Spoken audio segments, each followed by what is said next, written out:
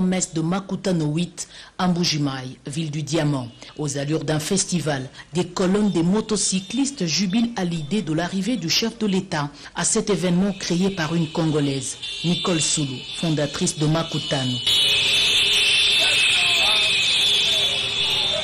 Sur les grandes artères, tous les moyens de communication hors médias sont mis à contribution pour scintiller la ville de l'Amiba de mille feux.